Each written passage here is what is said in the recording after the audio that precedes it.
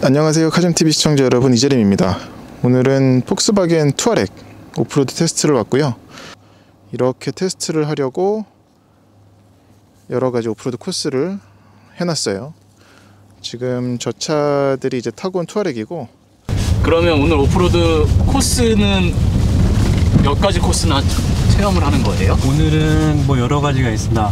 uphill, downhill, 그 다음에 under bumpy, 그 다음에 mogul, 음, 그 다음에 mud 코스. 어, 그리고 이제 그 안에서도 또 뭐 회전 반경 테스트 하는 구간도 있고요. 대략 한 6개에서 7개, 7가지 정도? 네. 그래서 오늘 뭐 오프로드 모드 안에서 진행은 되지만 다양한 노면 환경 속에서 얼마만큼 traction을 잃지 않고 안정적으로 진짜 차에 타 있으면은 이렇게 깊은 데로 빠져 들어가는데도 차의 거동 자체는 앞뒤로 조금 기우뚱하지만 운전하는 운전자 입장에서는 상당히 좀, 어, 너무 안정적이다는 생각이 드실 거예요. 뭐 물론 나- 다른 브랜드 SUV 브랜드들 많이 그런 부분들도 있지만 특히 저희 이제 투아렉 같은 경우는 승차감 내지는 전반적인 이런 아, 조작감이라던가 컨트롤 자체가 훨씬 더 용이합니다. 부드럽고요. 세팅 자체가 상당히 부드럽다라고 보시면 되고요. 오프로드 모드에서 네. 이 에어 댐퍼를 제일 높이 세팅을 하면 네. 거기에서 시속 20km를 25km? 넘어 25km요? 네네. 네, 25km를 넘어서면 다시 다운이 되잖아요. 맞습니다. 네. 그랬다가 만약에 25km 이하로 또 속도가 떨어지면 다시 올라가요 자동으로. 그때는 운전자가 바꿔줘야 아 다시. 여기가 이제 어떻게 보면은 스타트 라인이 되고요. 아. 네. 그래서 계속해서 운전자 교대가 이루어집니다. 저 다른 차들도 다 준비해 두신 거예요 일부러? 네, 맞습니다. 아, 다른 차량들은 지금 좀 저희 테스트 그 운영 차량들도 있고요. 아, 네. 저는 경쟁 차들 다 아, 줄 알았어요 네, 네, 네. 해주세요 네. 다 경쟁차 같은데? 자, 여기서 어필 구간을 올라갈 거예요. 어마어마합니다. 이게 약 몇 도 정도 되는 거예요? 이게 대략 경사가? 한 28도. 앞쪽에 한번 보시면 알 수 있어요. 오. 숫자 한번 보시죠.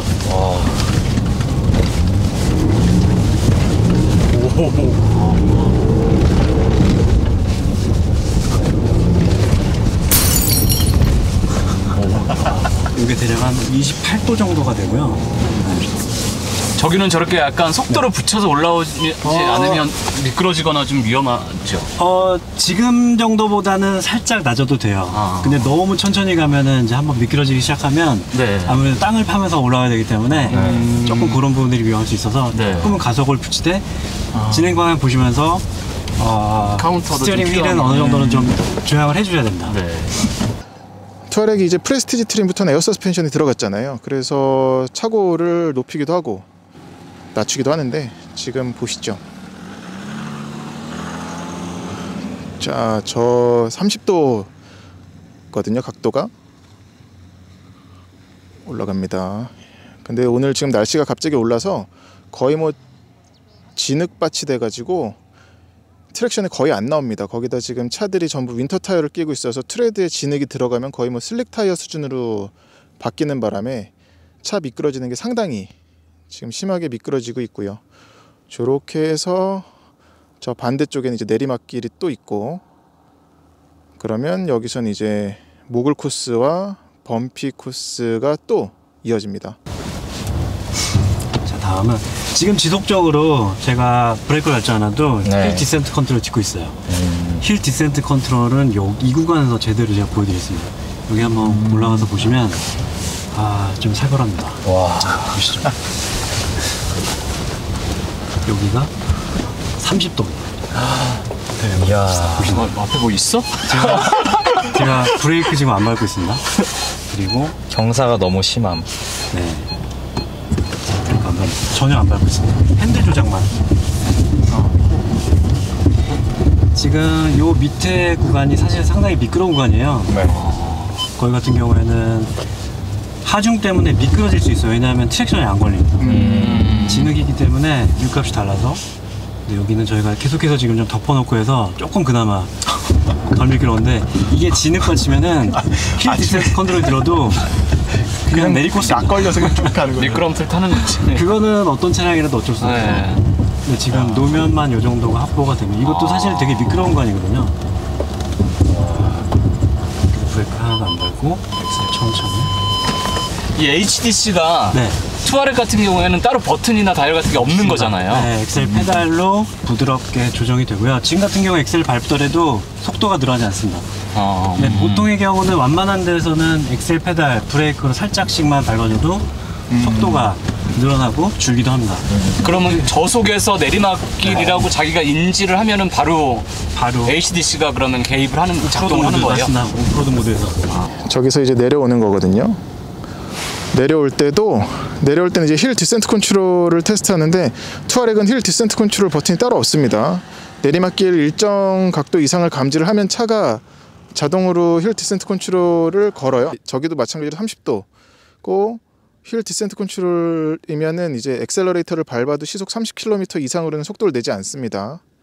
그러면서 이제 차가 스스로 traction 조절하면서 내려오는 건데 마찬가지로 여기도 지금 거의 뭐 바퀴 lock 걸려서 주르륵 그냥 하중 때문에 무게 때문에 미끄러지는 경우가 허다한 상황입니다. 다음 코스는 모글 코스입니다. 어, 모글 코스에서도 계속해서 대각선이 한 바퀴씩 이게 지면에서 떨어지게 되고요. 얼마만큼 운전자가 이제 엑셀을 밟았을 때도 어, 헛바퀴가 도는 계속해서 휠스핀이 일어나는 거를 빠르게 잡아주고 지면에 닿아 있는 쪽에 트랙션을 가하는 그러니까 운전자가 거의 못 느끼도록 이제 잡아주는 게 가장 간단해요. 지금 이게 돌아가는 게 저희가 진흙을 좀 밟고 와서 그래요. 없네 이건 진짜 트랙션이.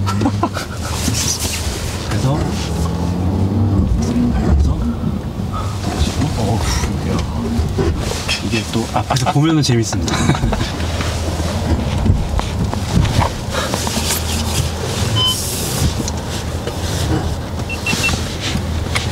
여기서 다시 한번 올라가겠습니다.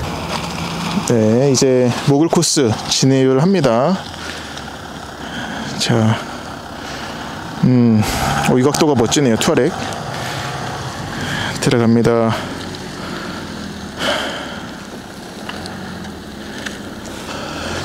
보시면 지금 오우 저 미끄러지죠? 그냥 주르륵 미끄러져요 지금. 그리고 오른쪽 뒷바퀴 떴죠? 그럼 나머지 바퀴에 traction 몰아서 저렇게 기우뚱 기우뚱 넘어갑니다.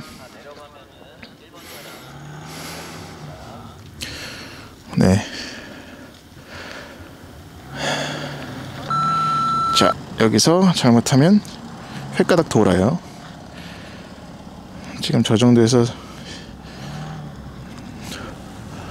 자, 한번 더 볼까요?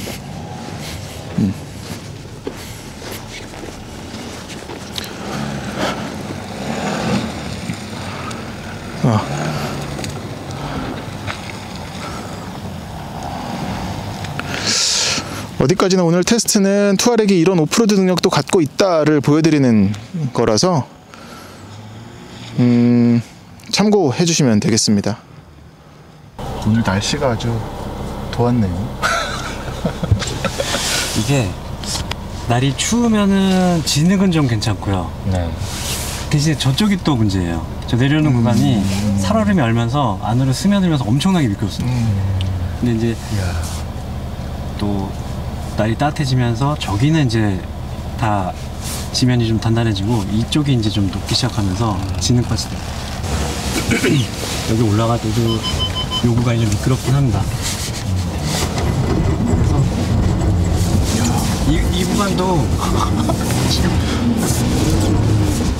지금 관건은 타이어의 방향을 어느 정도 알면서 밟으셔야 돼요. 이게 안 간다고 해서 핸들을 너무 많이 돌렸다가 엑셀을 밟았는데 갑자기 트랙션이 걸리면 벽으로 가기도 하고요. 음. 그러니까 조금은 방향 전환을 좀 하셔야 됩니다. 여기서 왼쪽으로 돌아갈 겁니다. 이게 이제 마지막 코스가 되고요. 여기가 잘 안 보이시겠지만 언더범피가. 상당히 아, 깊게 파 있습니다. 아, 저 앞에. 네. 그래서 천천히 정도면 진짜 궤도 달고 달려야 됩니다. 이게 지금 대략 한 50cm 이상은 지금 파 있는 거라서 아, 그떠 있을 때도 엑셀을 밟아도 헛바퀴가 돌지 않고 지금 바퀴 두 개씩만 붙이고 가시는 네 거죠? 맞습니다 얘가 그러면은 이거 테스트 하실 적에 어, 이거보다 더 뭐 한계치에서 어느 정도 빠지는 거예요? 한계치 사실 이게 뭐 진입 이탈각을 저희가 보긴 하고요. 네.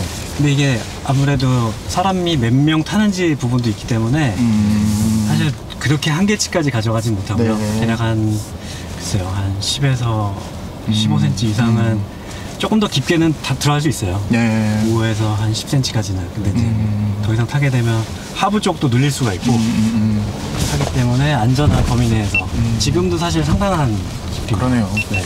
여기는 이제 범피입니다. 올라갔죠 지금? 그러면 음. 자 이렇게 오고 있죠. 지금 여기도 50cm 이상씩 파놨어요.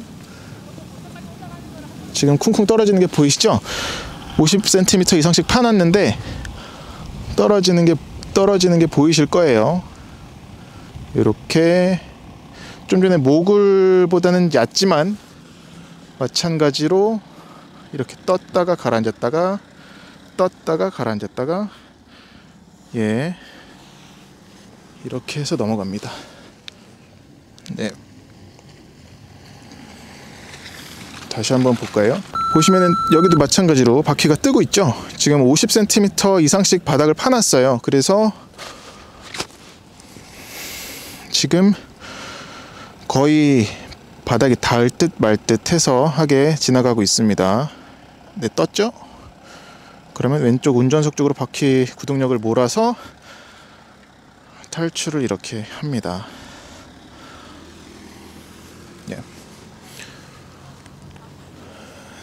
자, 지금 이렇게 현장이에요. 거의 뭐 산 꼭대기에다가 포크레인 갖다가 나라 아니 평탄화 작업을 해가지고 이렇게 만들어 놨습니다.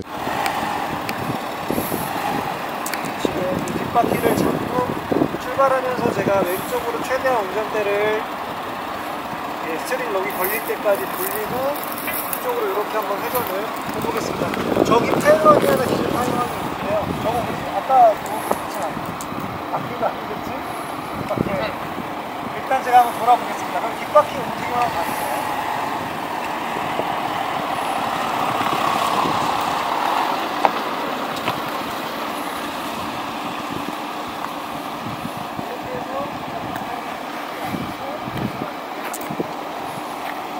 그러면 이 정도 여유 있어.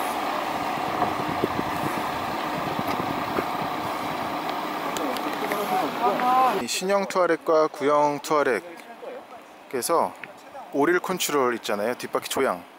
그게 이제 저속에서는 선의 각도를 줄여서 유턴할 적에 더 도움을 받게 해주는 기능인데 방금 지나간 건 3세대 신형이고 이번 건 구형 2세대입니다. 얘는 all wheel control 빠진 거예요. full lock 상태에서 지금 도는 겁니다. 좀 전에 3세대는 저 콘을 치질 않았는데 오잉? 아 아, 이렇게 차이가 나네. 정확하게 치네요. 음, 어, 이게 구형 2세대는 그러면은 이 네바퀴 조향이 안 들어있는 거야? 네 없대요. 얘는 없고 3세대 쟤는 들어가 있고. 네바퀴 음, 조향 시스템이 들어있는 없는 없는 녀석이야. 당연히. 음, 거의 한 1m 정도 선의 폭이 커지는 걸 알 수가 있었습니다. 그리고 근데 2세대가 3세대보다 더 짧지 않았어요? 어, 3세대가 더 길어졌어. 그러면 긴데도 불구하고 어. 쟤는 넘어가는 거고 얘는 음, 그러면은 뭐 거의 뭐 1m 정도 효과가 있다고 시- 눈으로 볼 적에는 저는 카젠 TV의 이재림입니다. 아 예. 이건